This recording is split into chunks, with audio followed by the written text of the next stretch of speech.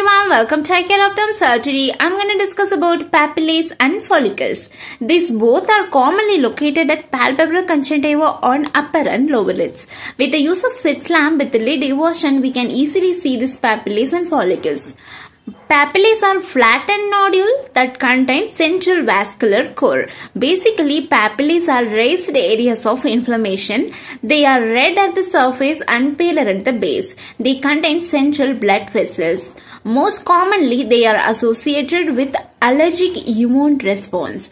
They can occur due to foreign bodies such as contact lenses or ocular prostheses. In conjunctivitis, they are closely packed and they have flat top and projection.